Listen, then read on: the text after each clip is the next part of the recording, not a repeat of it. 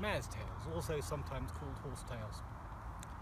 They're a fascinating plant. If you've got them in your garden, you might not like them very much because they're incredibly invasive.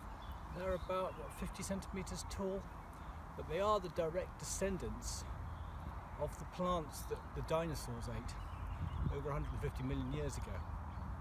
So, have a look at these things in detail. They're made up of a series of rings with the kind of pine needle-like leaves coming off each ring.